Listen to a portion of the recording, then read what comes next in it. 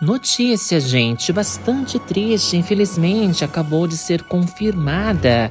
Essas e outras informações daqui a pouco. Mas antes eu peço um favor a você que é novo aqui, se inscreva, ative o sininho, deixa seu like e vamos às notícias.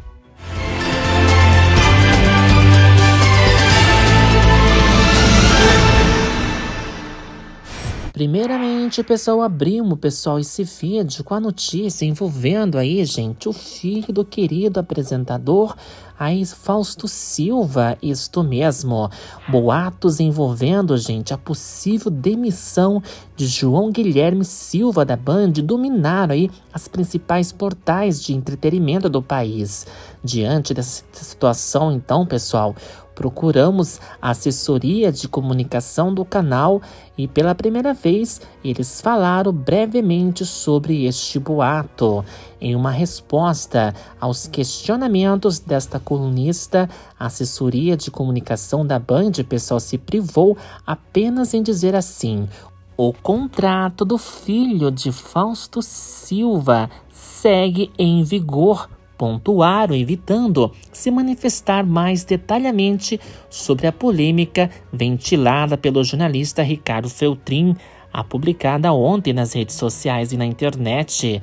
Vale destacar, gente, que existe uma possibilidade da renovação aí do contrato dele ao canal da Band, mas nada ainda foi conservado conversado, na verdade, entre ambas as partes. Porém, fontes desta coluna garantem gente, que o SBT estaria interessado em tê-lo em suas tardes de sábado, já que Raul Gil se aposentará ao fim deste ano. Ao que seja, quando o contrato dele com a concorrente chegar ao fim, possivelmente veremos aí o rostinho do filho de Fausto Silva no SBT.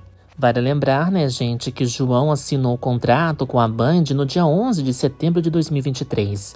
E desde então, ele vem surgindo na telinha da emissora como apresentador. Na época em que assinou um acordo com o canal, ele declarou assim: É um sonho, eu não esperava que isso acontecesse tão rápido na minha vida. Sou muito grato em relação a isto, disse o filho de Fausto Silva. E vocês, pessoal, se realmente ele foi para SBT, vocês vão acompanhar ele no SBT também? Deixa aqui nos comentários, queremos saber a opinião de vocês a respeito aí, né, pessoal, desse boato aí da demissão do filho de Fausto Silva da da Band, né, pessoal? Comente aqui abaixo. E vamos agora, gente, a próxima notícia, bastante triste.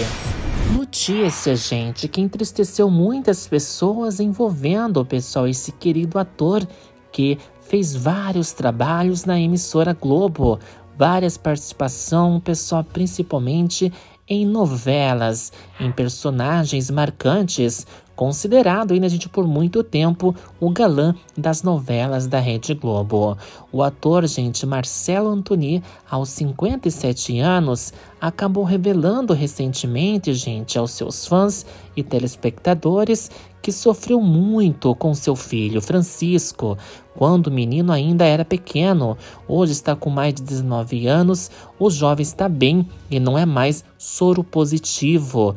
De acordo com o ator, gente, em conversa ao podcast, ele adotou a criança quando ninguém mais queria ficar e descobriu que Francisco era soro positivo pela agência de doação.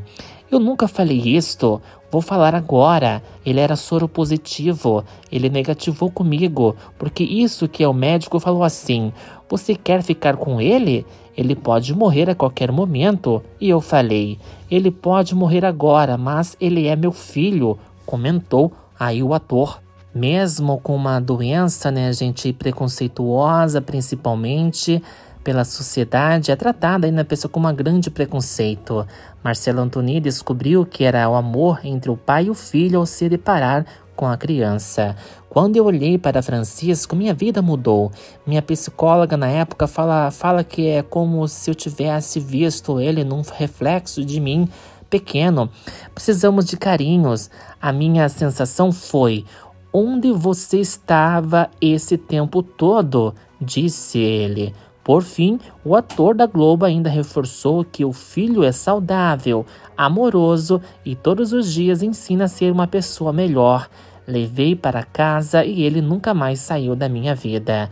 Ele era mestiço, tinha muitos problemas de saúde e ninguém estava olhando para ele. Ele vivia chorando no berço. Em um mês, ele era meu filho definitivo, finalizou aí o ator. Que mesmo, né, pessoal com esse problema de saúde, com um soro positivo, ele mesmo assim pegou, né, adotou, né, gente aí, o Francisco, que hoje em dia está saudável, graças a Deus. E se vocês gostam muito, pessoal, desse querido ator também, Deixa aqui nos comentários, queremos saber a opinião de vocês. E falando do ator, gente, outra notícia que acaba de sair é que o ator Marcelo Antoni o ex-galã da Globo, né, a gente causou uma surpresa aí ao anunciar uma mudança de profissão e fez um convite. O ex-ator usou suas redes sociais para falar sobre a sua nova profissão e convidar seus seguidores a conhecerem seu trabalho, pessoal. Isto porque ele compartilhou, pessoal, aí sua nova carreira como corretor de imóveis de luxo em Portugal. Em um vídeo no Instagram, o ator falou sobre a sua transição para o mercado imobiliário e apresentou a empresa que agora agora faz parte. Há seis anos residindo em Portugal, o ex-galã já participou algumas séries no país e, de acordo com o site Terra, recentemente ele se uniu à renomada imobiliária internacional The Agent, conhecida como a série da Netflix Os Corretores de Beverly Hills, que mostra a rotina dos corretores de imóveis de luxo da sede de Los Angeles. Marcelo, no entanto, está atuando na filial portuguesa da empresa. E vocês, gente, o que acharem dessa novidade. Muitas pessoas comentaram, né, gente, que sente saudade do ator atuando nas novelas, mas agora ele está em outra profissão, como corretor de imóveis. E vocês, o que acharam dessa novidade? Deixa aqui nos comentários, queremos saber a opinião de vocês sobre isto. E é isso aí, gente. Agora a gente vai para uma notícia que é bastante triste. E esta notícia agora, gente, é bastante triste, isso porque os fãs do famoso astro de filmes de terror, infelizmente, acabou falecendo. Isto mesmo, os fãs do ator Eric Anderson, isto mesmo, conhecido pelo filme O Capítulo Final, sexta-feira 13. Infelizmente, acabou falecendo foram impactados ainda, gente, com a notícia da morte desse querido ator aos 67 anos. E após uma longa luta contra um câncer, ele faleceu infelizmente. A notícia foi confirmada pela esposa nas redes sociais publicamente, que publicou um comunicado aí na internet. Meu marido, Eric, morreu esta manhã. Estou compartilhando as palavras do meu cunhado Mike pois estou muito desolada agora para escrever qualquer coisa sobre o meu marido. Na postagem, gente, a esposa fez questão de relembrar as conquistas do marido, tanto as, pessoa, as pessoas, né, quanto os profissionais também. Infelizmente, acabou falecendo esse querido ator. Se vocês conheciam o trabalho dele, pessoal, deixa aqui nos comentários também. E é isso aí, pessoal. Fico por aqui e até o próximo vídeo.